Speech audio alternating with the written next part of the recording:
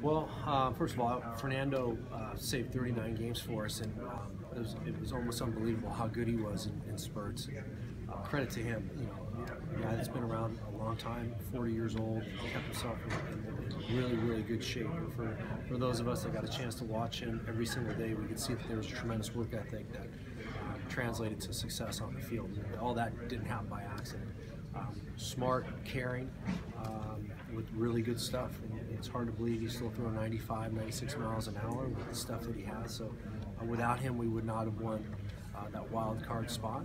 Uh, we wouldn't have had the success that we had during the season. Um, and um, I, I, think a lot of Fernando Rodney. How much does he have left? Well, based on what I saw at the end of the year, it seems like he might be able to pitch until he's 50, to be honest with you.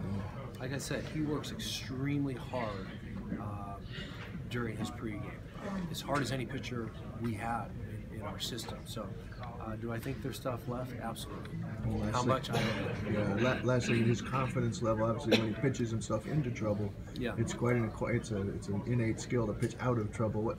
Uh, how, where do you think he gets that confidence?